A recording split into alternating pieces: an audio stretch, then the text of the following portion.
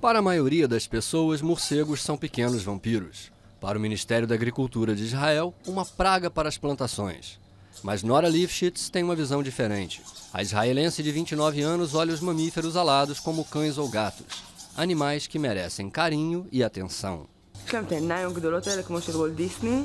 Eles têm esses enormes olhos da Disney, esses olhos tão tristes. São como cães. Eles te lambem. Se eu chamo, eles vêm e me lambem. Mas se eu faço carinho e eles não querem, eles fazem como gatos e me mordem.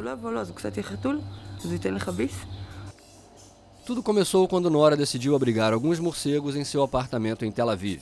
Logo eram centenas e ela precisou buscar um refúgio mais espaçoso. A solução foi um galinheiro, convertido em santuário improvisado em uma pequena cidade próxima a Beit Shemesh, na parte central de Israel. Nós tentamos devolvê-los aos lugares onde foram encontrados, dependendo do tempo que tenha passado e das condições em que estejam. Isso se chama libertação gradual. Abrimos uma janela e deixamos que voem para dentro e para fora, até que consigam sair totalmente.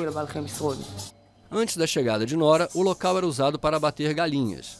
Hoje, ela e o proprietário se alegram em dizer que ali só se faz o bem.